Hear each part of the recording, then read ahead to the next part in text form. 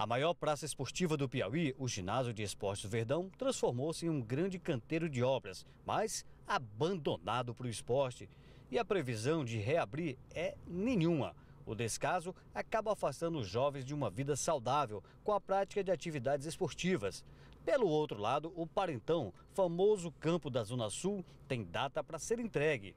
E depois de um ano e oito meses, ele traz uma reforma completa.